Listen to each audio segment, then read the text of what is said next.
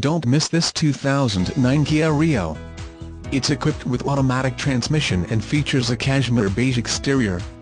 With 8347 miles, you'll want to take this car home. Make a great choice today. Contact us and see this car firsthand.